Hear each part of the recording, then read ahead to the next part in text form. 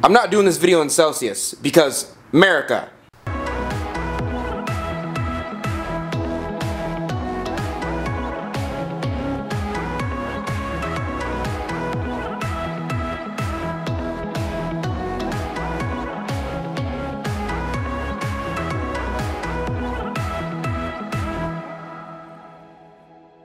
Hello you dirty potters, how are you today? Today we're going to give a very basic explanation about what cones are and what the cone chart is and how they correlate to different temperatures and how they relate to your ceramic artwork. For anyone who's new to pottery or doesn't know, a cone is essentially a measurement of heat. So when somebody says cone 6, cone 5, cone 4, what they're talking about is a very specific measurement of heat. And the reason we call them cones is because they're shaped just like this. They're shaped in a little tiny cone. First let's go over the cone chart. This here is the Orton cone chart and it starts all the way at your top left at cone 022 and that's about the lowest cone we can get for melting things. The most basic Orton cone chart goes all the way down to cone 14. Keep in mind that there's a lot of things in our society that need to be fired at a higher fire than cone 10. For example, there are certain brakes for cars that are ceramic, and those need to be fired. Little parts in your car, such as your spark plug, have ceramic in them, and they need to be fired. Some prosthetic legs are part ceramic and they need to be higher fired. But I think the one that we take for granted the most is most likely toilets. Toilets are fired to like 2,500 something degrees. They have to be extremely, extremely hard and fired to an extremely high temperature in order to take the everyday abuse we give it. I mean, we, we give our toilets a lot of crap, so. I hope you guys understand the difference in between the zero scale and the positive scale, that being no zero scale. Let's kind of think of it as a positive and negative bar. If we're going in a straight line, over here is the negatives and over here is the positives. Over here is 022 and it goes up with the 0 in front of it. So it goes from 022 to 21 to 20, 19, 18, 017, 016, 015 and it keeps on going until it gets right in the middle at this bar called 00. But do keep in mind the temperature's still going up. Just because it reached 0, 0, and that's technically neutral right there in the middle of the bar, that doesn't mean that it's a less temperature. At this point, it's still going up. And at this point, it goes to cone 1, 2, 3, 4, and it keeps on going up until we reach the very basic of the Orton cone chart. You do have to remember that there's a massive difference in between the zero scale and the positive scale. Cone 06, which is where I usually do my bisque stuff, is completely different and a much less temperature than cone 6 is. So when you're going to a store and you want to get something that's cone 6, do not put the 0 in front of it. Or vice versa, if you want something that's cone 06, don't get cone 6. They are different. Do you hear me? They are different. If you do not remember this, I will find you and I will I'm sorry, it's like a pet peeve of potters. For some reason, people can't seem to understand that putting a zero in front of things makes them not as hot as putting no zero in front of things. It's weird. The Orton cone chart starts way up here at the top left at 022. And starting at 022, this is what is considered very, very low fire. You can think of it as super low fire. And usually we don't deal with these cones, but let's just talk about them for a second. Super low fire is anywhere from 022 to 013. It starts at around 1112 degrees Fahrenheit and it goes to 1566 degrees Fahrenheit. Usually this is where a lot of luster glazes are done, so whenever you see one of my videos where I'm doing gold luster, this is about where I do it. I do it at 018 and that's in between these two points. Then you have the low fire scale. The low fire scale starts at 012 and that's around 1623 degrees Fahrenheit and it goes all the way up to 02. 02 is somewhere around 2048 degrees Fahrenheit. And for a long time, a lot of potters did their ceramic artwork in this firing range, and that's simply because historically, we didn't have the technology available to get to a higher fire. But now, we have a bunch of electricity and fire everywhere, so we're good. A lot of people who do low fire stay in this area right here. You can get really good stable colors in this area, and you can get really good mason stains to come out as well. And the low fire temperature is where a lot of things are bisqued. Usually people put their bisque in between cone 04 and 06. So that could be anywhere between cone 04, 05, and 06. And that is the usual. And I say usual because there's to be one guy in the comments below, oh, I don't do my bisque at cone 06. The key component for low fire is that the glaze isn't erratic yet. It doesn't really need to go to a higher fire, so it doesn't really melt anywhere. It stays nice and solid where it is. When you paint on low fire stuff, it usually stays where it is unless you're layering 1500 layers on there. You see this right here? This right here is just greenware. This right here is nothing. I just threw this and it's dry. You hear that? This hasn't even gone inside the kiln yet. But once I put it in the kiln at cone 04 or 06, all the water is going to be drained out of it and it's going to have open pores. And these open pores are going to allow my glaze to be soaked into the body of my clay. And it goes from this to something like this. This is a lot harder.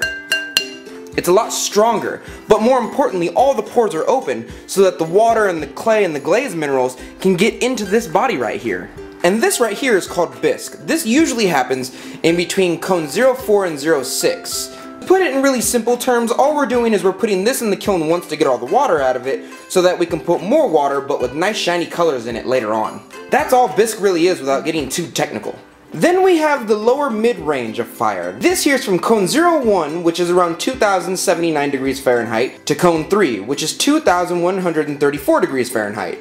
I'm not gonna lie to you guys, nobody really uses this range of glazes. I, I mean, I, I would like to tell you some information about it, but it's so overlooked that no, like I don't have any info on it because nobody uses it. And then we have the mid-fire range stuff. This is anywhere from cone 4, which is around 2,167 degrees, to cone 7, which is 2,264 degrees, both Fahrenheit.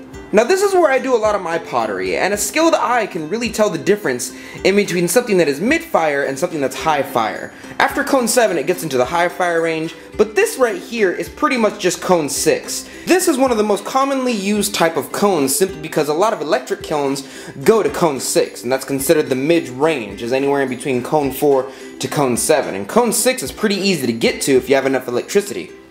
And then we have the high fire stuff. This is anywhere from cone 8, which can go to 2,300 degrees, somewhere around there, anywhere to cone 14, which is 2,530 degrees. This is extremely high fire. This on my left hand side is a little teacup that I made. It's cone 5-6 and it's made in an electric kiln. And this over here is cone 10, made in reduction. I made it about two years ago and uh, I just kind of use it to hold all my crap actually. Some potters are so experienced that they can very easily tell the difference in between something that's oxidation and something that's reduction. And I've met some people who can even tell the difference in between cone 5-6 and cone 10. It takes a really skilled eye, but sooner or later you'll get there. You see this right here? This thing right here is formulated for cone 06. That means once it reaches 1828 degrees, it's gonna start melting and bending because that's essentially its melting point. Sooner or later, if you let that keep melting, it's gonna turn into one of these. This is the exact same cone, except for this went through its process, and now it looks like your ex-boyfriend. Now each and every one of these cones is made of a very specific type of chemical and material, and each and every material has a melting point, and that melting point correlates to a certain number. And the number on this tells you exactly what temperature this is going to start to melt at. For example, the codes inside of this box are at cone 06, so these are going to start melting around 1828 degrees. But these over here are cone 6, not cone 06, cone 6, and these are going to start melting around 2232 degrees. The reason that these temperatures are important is because each and every different type of potter uses a different scale. For example, I use stuff at cone 5 and cone 6. If you're in school, it's a pretty good chance that you're using stuff at cone 10. So your temperature, your glazes, and your clays are formulated to melt and fuse to each other at different temperatures than mine are. And this is really, really important inside the ceramic world. These cones are extremely important, especially for manual kilns, because these things will turn off your kiln at a certain temperature, and that temperature needs to correlate with your clay and or glaze bodies. Because if you let them go over temperature or over mature, they will start to run or you won't get the desired effect. You do not want to see what happens when you put cone 6 clay inside of a cone 10 kiln. You do not. You know what, actually I'm just going to give you a picture right here just in case you really wanted to know. Did you see that? That's going to happen to your potter if you don't follow these rules.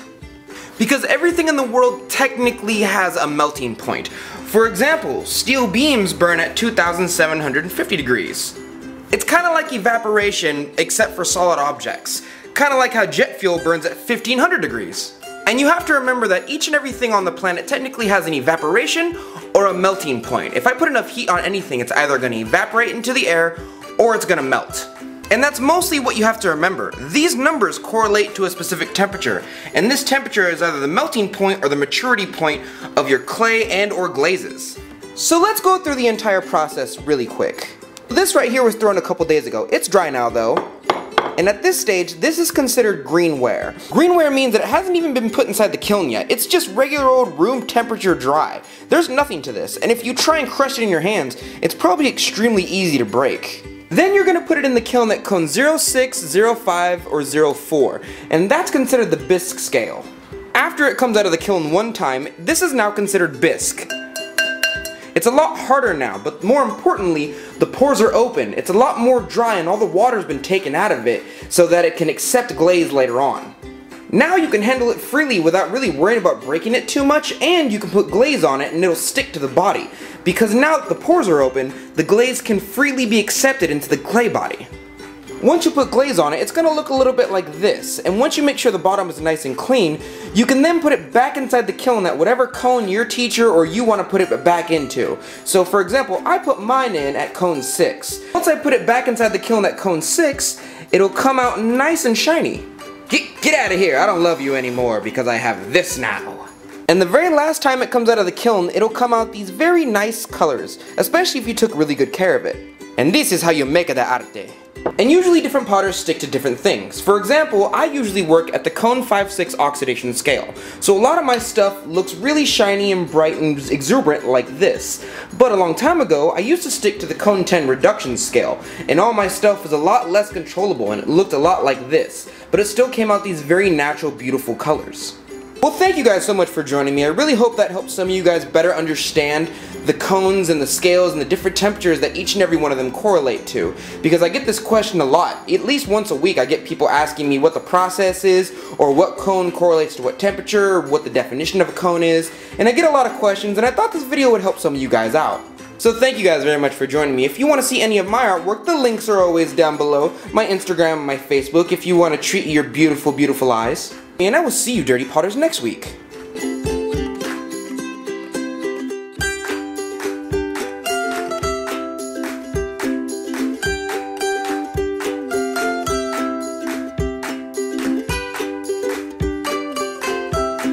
Hey girl, you want to go on a date? No, I'm cone 06. I'm way too hot for you. But I'm not. I'm cone 6.